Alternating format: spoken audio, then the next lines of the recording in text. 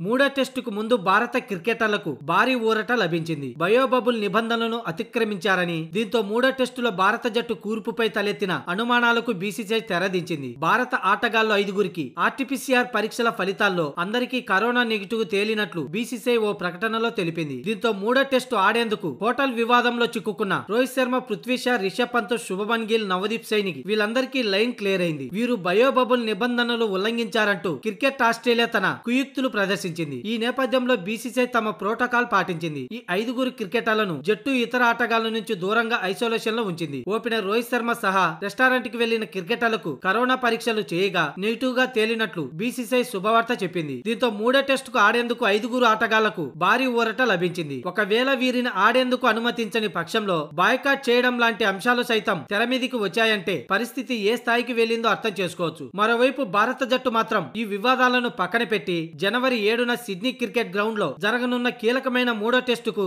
సన్నద్ధమవుతున్నారు.